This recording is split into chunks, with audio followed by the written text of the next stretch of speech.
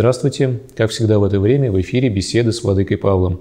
Наш постоянный собеседник – патриарший экзарх всей Беларуси, митрополит Минский и Заславский Павел. Владыка, здравствуйте! Здравствуйте! Э, сегодня первый вопрос пришел от Елены из города Сергиев Посад. Она задается вопросом, можно ли в 55 лет вступить в брак или в таком возрасте супружество не благословлено церковью?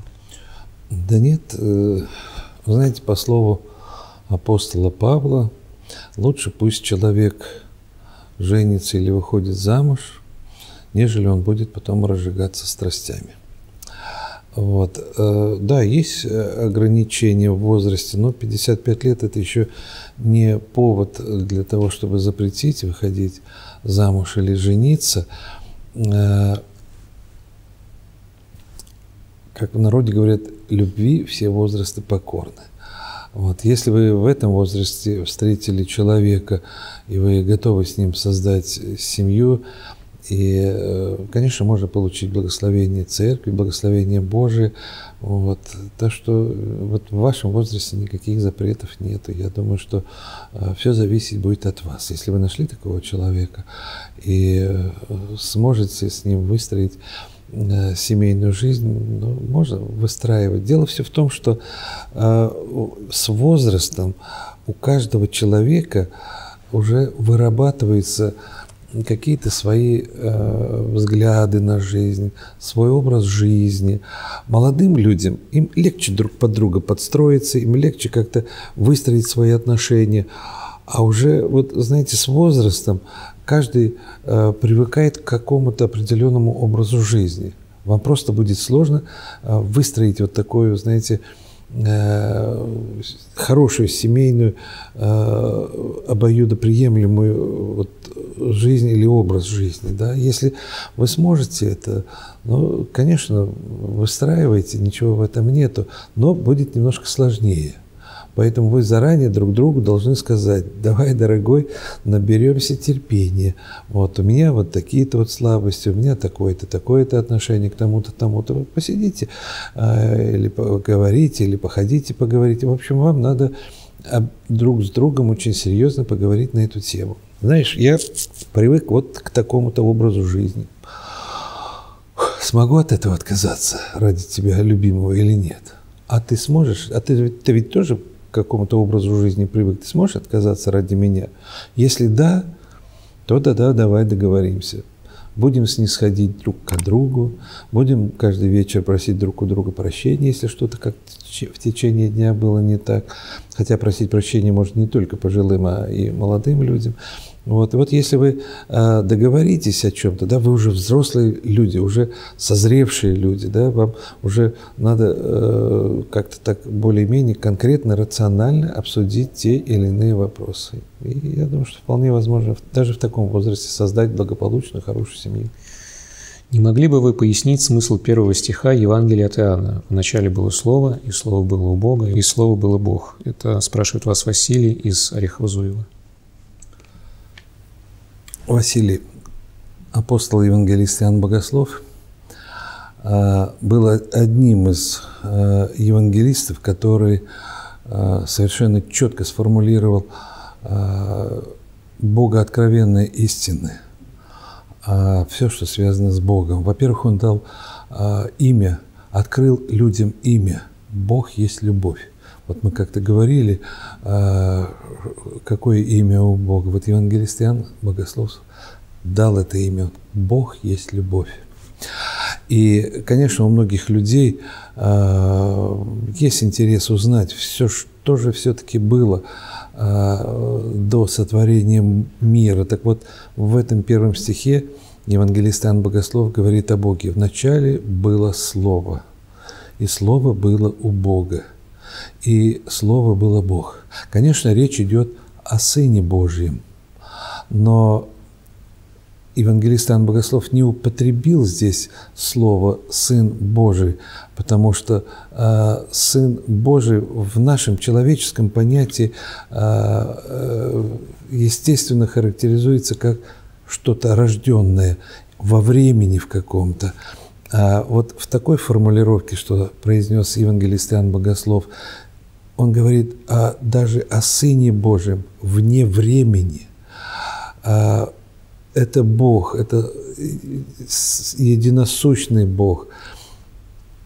Когда это было? Это было вне времени, чтобы нам как-то вот понять, что же, если мы только скажем, что это Сын Божий, что Он, да, мы верим, что Он рожден, мы в символе веры э, э, сформулирована наша э, вера и упование на Бога, да, верую в единого Бога Отца. Вот и дальше мы говорим о Сыне, рожденного прежде всех век. То есть не было тогда ни времени, ни земли, вообще ничего этого не было вне времени. Так вот, евангелист Иоанн Богослов вот таким вот красочным образом э, сформулировал о том, что вначале было слово. Конечно, речь идет о Сыне Божьем, вот, но Он был рожден вне времени. Э, да и вообще Бог живет вне времени э, земного бытия. Вот, нам это очень сложно понять. Именно поэтому апостол евангелист Иоанн Богослов вот так вот выразился, чтобы нам хоть как-то дать понять. И, конечно, нам сегодня вот э, с таким, знаете, осознанием или понятием, э, присущим каждому из нас, пытаться проникнуть в божественное откровение, но совершенно нет смысла, и надо быть предельно осторожным. А вот вы обратите внимание, не каждый из подвижников благочестия пытался проникнуть в божественное откровение. А, как, знаете, один из наших э, преподавателей Московской Духовной Академии говорил нам, Бог – это божественная э, энергия, это высочайшее напряжение. И если мы попытаемся притронуться или попытаемся проникнуть, мы просто можем сгореть и погубить свою душу. А как вот, знаете, как он говорил, как в электрощит, где высокое напряжение, человек, а, который подходит и пытается там работать, он ведь одевает перчатки, резиновые сапоги, специальное обмундирование. Для чего он это делает? Чтобы, прикасаясь каким-то э, контактам или каким-то предметам, чтобы его не убило током. Так вот, и человек, если хочет познать божественное откровение, надо одеть перчатки – надо очистить свою душу от всякой скверной нечистоты. А еще лучше даже не пытаться в это проникнуть, а, потому что не а, пытаясь или не стремясь проникнуть в божественное откровение, я показываю свое смирение, свое недостоинство. Господи, ну что я, как я могу, грешный человек, пытаться проникнуть в Твое божественное, сокровенное, что Ты сокрыл от всех э, тварей. Вот, в этом будет проявляться мое смирение. И по мере моего возраста духовной жизни Господь не будет открывать. Но, тем не менее, чтобы как-то а, открыть или удовлетворить любопытство а, познания человека, апостол евангелист Богослова таким образом говорил о Сыне Божьем. Вначале было Слово. Хотя сегодня этот стих пытаются э, наши современники использовать э, совершенно в другой интерпретации. Там, знаете, говорят о печатном издании, и говорят, вначале было слово, да, и вот это какое-то совсем нет. Евангелист Иоанн Богослов говорил не об этом печатном слове, не о том, что, знаете, мы произносим, совсем нет. Говорил он о Сыне Божьем. Вначале было Слово, и Слово было у Бога, и Слово было Бог. Вот так он сформулировал замечательно.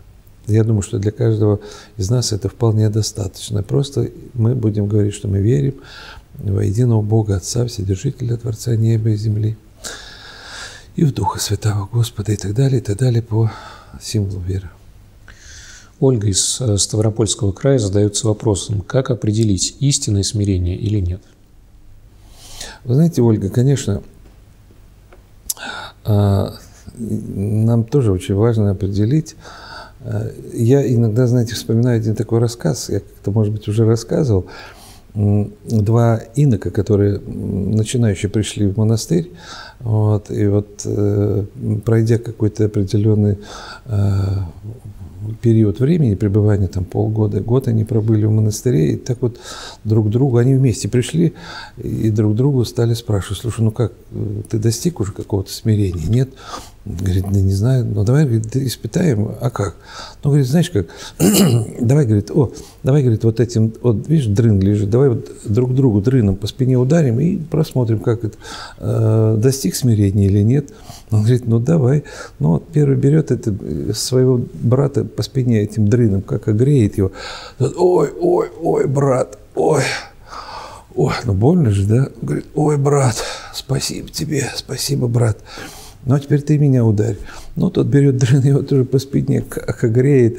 Да, и тот весь тоже извивается. Говорит, ой, ой, брат, ой, спасибо тебе, брат. Брат, ударь меня еще раз. Он говорит, нет, брат, это уже, это уже говорит, чревоугодие.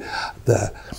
А, шутка вроде такая э, монастырская, да, но вы знаете, смирение – это особое качество человека. И Конечно, протестировать себя очень легко можно, есть ли во мне смирение или нет. Когда я говорю сам о себе, знаете, я такой грешный человек, ой, я такой недостойный, я такой грешный. А некоторые говорят, вы знаете, а я не просто грешный, а я великий грешник. А вот почувствуйте, да, разницу, да? Когда я сам о себе говорю, что я грешный, а я великий грешник, да, я не просто грешник, но я великий грешник, да, слушайте, сколько гордости, да, сколько напыщенности, да, вот. Но это хорошо, я о себе говорю. А вот попробуйте кто-нибудь, вы против меня скажите. Ой, я вам тогда потом так покажу, какой я грешник, да. Вот, вот когда, когда я сам о себе говорю, я же, знаете, э, подспудно, если хотите, внутренне, я себя выпячиваю, я себя высвечиваю, я пытаюсь вроде бы говорить, что я смиренный, а на самом деле, ой, из меня прям, вот знаете, вот прям так и пышет эта гордость, самолюбие, э, самодовольство. Но только попробуй кто-нибудь мне скажи, что я негодяй, что я такой секой, понимаешь? Я, знаете, как отвечу? О, Поэтому очень легко можно определить э, состояние своего внутреннего и внешнего даже проявления смирения. Как определить истинное смирение? Э, ну вот вы знаете, э, все, что говорят обо мне, или что-то делают против меня, я должен воспринимать это как благоразумный разбойник, которого осудили распяли, а он вместо того, чтобы огрызаться, что он сказал своему собрату-разбойнику? Он сказал, мы по делам это восприняли. Вот вы знаете, когда я буду говорить на все огорчения в свой адрес, что это э, я воспринимаю по делам, заслуженно. Но попробуй кто-нибудь обо мне скажи – я же сразу начинаю оправдываться, я сразу начинаю э, выяснять, кто обо мне сказал эту гадость, кто обо мне это вот такую сплетню распустил, да. Ну какое же смирение? Никакого смирения нет. Ну а подлинное, конечно, смирение заключается в том, чтобы я, знаете, вот не перед людьми, а, знаете, вот как перед Богом. Вот как перед зеркалом подошел, вот я вижу свои какие-то черты э, внешнего своего лица, то внешности своей, я вижу, кто я есть. Вот точно так же надо перед Богом просто сказать, подумайте себе, Господи, конечно, я сейчас буду перед тобой э, вот как-то себя опять-таки оправдывать, а на самом деле я ведь грешный человек. То есть искреннее, подлинное осознание своего внутреннего мира – а поняв и осознав свое внутреннее настроение, состояние, вот тогда у меня возникнет желание исправиться. И, конечно, в этом может мне помочь только моя личная совесть. Это вот такой, знаете, неподкуп, неподкупный судья, который есть в каждом человеке. Моя совесть, она может сказать, кто же я есть на самом деле.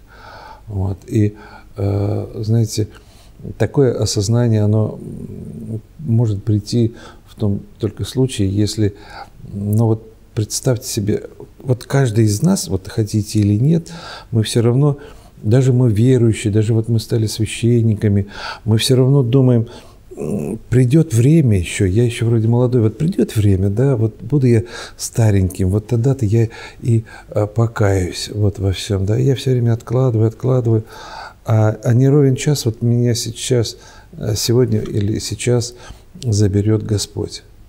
Вот вы знаете, вот даже подумать страшно, да, я вот ложусь спать, и только, только попробуй подумать, что я уже больше не встану.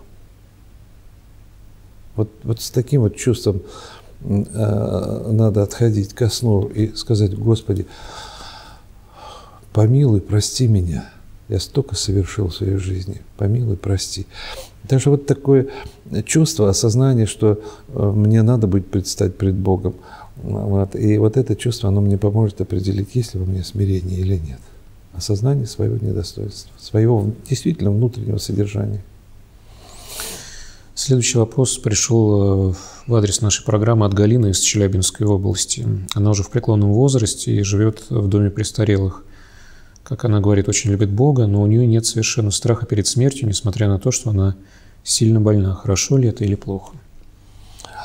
Вы знаете, но может быть разное э, состояние у человека. Э, кто-то может просто даже не понимает, что это такое – а, э, а есть такие люди, которые действительно проводят очень благочестивый, добрый, порядочный образ жизни, да, вот. Но я могу сказать о своей маме, как она, она говорила, что она раньше очень боялась смерти, пока не прочитала э, книгу святителя Феофана Затворника Вышинского «Слово о смерти». Вот. Она говорит, ой, Оказывается, это так легко. Я переживала, я думала, как это будет, как это будет. А вот он сказал, что вот представь себе, что у нас несколько комнат в нашем доме. Вот мы живем здесь, а вот дверь открыли, перешли в другую комнату. Вот мы уже живем в другой комнате. Так вот этот порог этот, и дверь, это, вот, это и есть смерть. Но, вы понимаете, а, страх вызывает у людей от того, что я возвратиться не смогу из той комнаты уже сюда, понимаете? А у меня столько всего, что можно почистить в моей совести и в моем сердце своих проступков и прегрешений. Если я этого не сделаю, то, конечно, будет очень тяжело. Я видел таких людей, которые э, очень переживали, оплакивали себя перед смертью. Э, которые э, понимали, что они делали что, что-то не так. И даже, знаете, э, как один, знаю, видел священник перед смертью, умирая, плакал говорит, Господи, я даже не знаю, в чем еще покаяться. А вдруг не так, Господи, прости меня. Вы знаете, он находился в... том, Хотя очень благочестивый священник, вы знаете, очень благочестивый человек, вот. Но э, вот его все равно волновало, Господи, но мне так хочется, я так хочу к Тебе, но, э, но я, Господи, я даже не знаю, что, прости меня, помилуй. Понимаете, вот у него было такое чувство. И его нельзя судить было, да, за то, что, ну, что плачешь, ты живешь хорошей жизнью, сложную ты, тяжелую, ты ссылки прожил, ты лагеря прошел, ты все, а он все равно говорит, Господи, я все равно, все равно и недостоин. Смирение, слушайте, какое смирение у человека, он все равно себя считает грешным и недостойным пред Богом. Вот. А моя мама умирала, она говорила, Господи, я так хочу к Тебе, я так хочу, хоть я недостойна, Ты меня прости.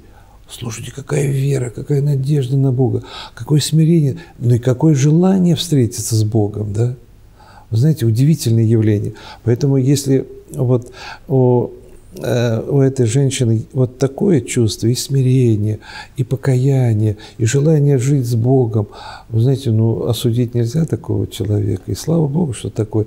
И вы знаете, поэтому мы говорим, знаете, мы э, скорбим об умирающих, которые умерли без покаяния которые или не верили в Бога, вот о тех надо скорбеть, или жили вне церкви. А тот, кто всю жизнь прожил в церкви, вы знаете, вот он верил, любил, надеялся, э, каялся, жил честно и праведно. Да это разве скорбь об этом человеке? Радоваться надо, что э, человек благочестивый перешел в загробный мир. Вот, конечно, мы молимся и о нем, и просим, чтобы Господь простил вольные и невольные грехи. Даже о, о праведниках, умирающих о Господе, мы молимся и вспоминаем слова, слова Христа Спасителя, который говорил, нет человека, который жил бы и не согрешил. Понимаете? Но мы надеемся на милосердие Божие. И если эта женщина живет в такой надежде, и у нее нет страха, ну, может быть, и слава Богу, вот, что такое происходит. Но, видите, она тем более находится э, в преклонном возрасте и живет в доме престарелых, но ее уже с этой жизнью практически ничего не связывает. Понимаете, ей действительно, может быть, уже хочется перейти в Царство Божие. Она верит в это. Понимаете? А вот у таких простых людей, особенно, знаете, вот деревенских людей, которые жили благочестиво, да, вот, но не воровали, не грабили, жили благочестиво, да, тихо, может быть, жили, да, может быть, себя как-то не выпячивали, не высвечивали, может, у них и нет такого багажа греховной жизни, а им действительно, может быть, легко, э, они легко могут уходить, э, переходить от жизни временной в жизнь вечную. Ну, а молиться все равно можно и нужно о таких. Ангелина Николаевна из Республики Коми спрашивает вас, можно ли в обычный воскресный день посещать кладбище, ведь воскресенье – это Малый Пасх. А, вы знаете, Ангелина, можно, конечно, посещать, но а, у нас хорошая традиция есть. Мы вначале идем в храм, молимся, а потом, ну, почему бы не посетить, потом можно и посетить своих родных. А, вообще посещение кладбища полезно даже не столько покойнику, сколько нам, живым – поскольку посещение кладбища – это еще и еще одно, э, может, многократное напоминание нам, каждому, о том, что жизнь наша скоротечная, и не ровен час, когда Господь нас призовет в свой загробный мир. Поэтому полезно посещать. Но в первую очередь, конечно, молитва в храме, ну а потом перекусить и пообедать, и можно сходить на кладбище. Греха в этом нет. Скажите, можно ли работать, если это необходимо, на большие церковные праздники, спрашивает Елена из Москвы. А, то же самое, Елена, знаете, если э, это действительно необходимо, но ведь у нас очень много сегодня и э, женщин, и мужчин, то есть вот семей, в семье работают, работают, что называется, с понедельника по, э, по субботу, а некоторые включительно субботу. Вот, и единственный день, воскресенье, когда они могут что-то сделать для семьи, для своих детей, для супруги, для мужа – не мужу для супруги. Но еще раз хочу сказать, э, очень важная э, заповедь, которую дал Господь людям, чти день субботний. Это было в Ветхом Завете. Сегодня чтить надо день воскресный. Поэтому э, посещать желательно богослужение воскресный день, а после богослужения пришли домой, перекусили, пообедали, можно заниматься хозяйственными делами. Так сложилось, э, что Елена из города Полоцка ходит в два храма, старообрядческий и обычный. Э, можно ли так сделать, спрашивает наша телезрительница. А, вы знаете, Елена, э, старообрядческий ведь тоже есть разные храмы. Если это храмы, которые имеют иерархию, то есть священнослужителей, епископов, вот. Э, вот с них уже в 1970 году были сняты клятвы на нашем поместном соборе. Вот. И есть у нас еще и единоверческие храмы, э, которые так же, как и в наших храмах, совершаются богослужения, и э, причащаются люди и там, и там. Если это вот такой единоверческий храм, то можно посещать. Если это молитвенный дом, вот такого, знаете, направления беспоповского, вот, где нет иерархии, где нет священнослужителей. Ну, вот такие нежелательно посещать, потому что ну, они, к сожалению, остаются без иерархии, значит, без благодатной. Э, их э, богослужение, так называемое, мы их даже не можем назвать богослужением, но молитвы, которые они совершают. Вот. А если это, это единоверческий храм, то ничего в этом зазорного нет.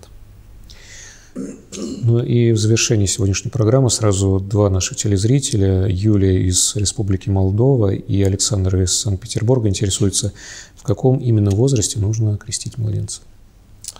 Вы знаете, Юля, хорошая есть, добрая, уже сложившаяся многовековая традиция крестить э, детишек в младенческом возрасте. Хотя есть совершенно определенное мнение, а, богословское мнение о том, что креститься надо в совершенном возрасте, чтобы человек не только душой э, принимал участие в этом таинстве, но и еще и разумом все это понимал, осознавал, потому что я встречался с людьми, которые крестились в зрелом возрасте, вот, и они говорят, вы знаете, происходит что-то такое необычное, потрясающее просто, знаете, воздействует вот все и на душу, и на тело. Это богослужение, это таинство. Да, это э, вполне реально и возможно. Вот. Но э, в связи с тем, что немногие дети э, достигали зрелого возраста, и многие умирали даже в младенчестве, и до сих пор ведь очень много умирает детей, к сожалению, не достигнув зрелого возраста вот, или даже совершеннолетия. И вот чтобы э, дать возможность таким людям э, быть сопричастными Церкви Христовой, э, сложилась уже многовековая традиция крестить детей в младенческом возрасте. Вот. А когда? Ну, есть такая практика, знаете, как, как священники некоторые говорят, вот как пупочек отвалится, отпадет, вот, вот все, тогда можно идти крестить. То есть это где-то вот через неделю, полторы-две уже, в принципе, можно крестить. Но если страха ради смертного, то можно крестить и раньше. Вот, потому что многие родители говорят, вы знаете, мы хотим за них молиться, а как? А если он будет не крещеный? Значит, в храме нельзя будет за него молиться. Да? И вот родители, очень многие боятся, э, чтобы не случилось такое, вот, поэтому можно даже и э, пригласить в роддом, э, если вдруг ребенок очень плохой, слабенький, совсем недавно, сколько было случаев, младенцы умирают прям и, и неделю не прожив, и две недели. Вот, кого-то успели э, покропить даже через инкубатор. Вот Господь примет это. Конечно, мы понимаем, что Господь э, – это все совершеннейшая любовь, и он все равно к этим младенцам, будь то они даже не крещеные, конечно, это ангелочки, вот, они, что называется, ничего не смогли сделать ни хорошего, ни плохого, Господь их определит, но родителям хочется за своих младенцев молиться, понимаете, и поэтому вот ради родителей вот такая существует практика э, крестить младенцев, а потом, знаете, по мысли святителя Кирилла Иерусалимского, вот, в таинстве крещения а, в душу младенца всевается зерно православия, которое должно прорасти. И чем раньше мы это зернышко посеем, и чем раньше мы начнем его поливать, ухаживать за ним, тем более обильный плод принесет этот, этот младенец. За него можно будет молиться. Вот. Так что хорошая практика существует такая. Она многовековая, она практически повсеместная. Вот. Так что как только пупочек отпадет, можно уже крестить. Ну что ж, Владыка, я благодарю вас за беседу. Спасибо. Спасибо вам. Ну и как всегда, дорогие друзья, желаю вам всего самого доброго. Пусть Божье благословение пребывает со всеми вами.